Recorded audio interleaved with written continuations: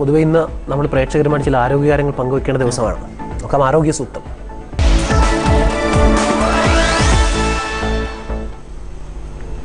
മഞ്ഞപ്പിത്തം വരാതിരിക്കാൻ എന്തൊക്കെ കാര്യങ്ങൾ ശ്രദ്ധിക്കണം? കൊച്ചി മെഡിക്കൽ ട്രസ്റ്റ് ആശുപത്രിയിലെ ഡോക്ടർ ആശാരാജൻ സംസാരിക്കും. ഈ മഴക്കാലത്ത് വേറെ പടർന്നു പിടിക്കുന്ന ഒരു അസുഖമാണ് വയറിളക്കം ഛർദിൽ അതുപോലെ മഞ്ഞപ്പിത്തം.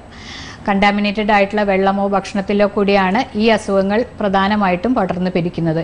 ഒരുപാട് സ്ഥലങ്ങൾ ഈ കഴിഞ്ഞ ഈ വർഷം മഞ്ഞപ്പിത്തത്തിന്റെ ഔട്ട് ഔട്ട്ബ്രേക്സ് ഉണ്ടായി. അത് മിക്കവാറും ഹോസ്റ്റലുകളിലൊക്കെയാണ് ധാരാളം ഉണ്ടാകുന്നത്.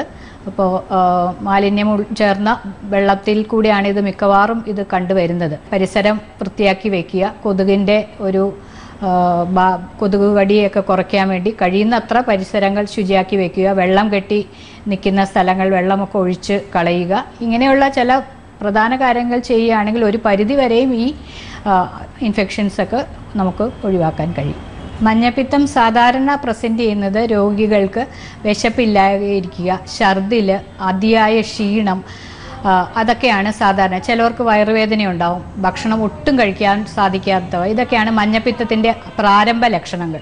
കുറച്ച് ദിവസം കഴിയുമ്പോൾ രോഗിയുടെ മൂത്രത്തിന് കടുത്ത മഞ്ഞ നിറമോ അല്ലെങ്കിൽ കണ്ണുകൾക്ക് കണ്ണിലെ വെള്ളയ്ക്ക് മഞ്ഞ നിറമോ കാണപ്പെട്ടു തുടങ്ങും. സാധാരണ ഈ സമയത്താണ് രോഗികൾ ഡോക്ടറിന്റെ അടുത്ത് വരിക. ആദ്യത്തെ സ്റ്റേജിൽ തന്നെ വരികയാണെങ്കിൽ നമുക്ക് ഏതുതരം മഞ്ഞപ്പിത്തമാണെന്ന് നമുക്ക് തിട്ടപ്പെടുത്താൻ കഴിയും. Hepatitis പലതരത്തിലുണ്ട്. Hepatitis A B C E ഇതൊക്കെ പലതരത്തിലാണ്. പക്ഷേ വെള്ളത്തിൽ കൂടെ കിട്ടുന്നത് ഹെപ്പറ്റൈറ്റിസ് എ ആണ് സാധാരണയായി. അപ്പോൾ ഇത് ആണ് മിക്കവാറും ഔട്ട്ബ്രേക്സ് ഉണ്ടാക്കുന്നത് ഈ കാലത്ത്.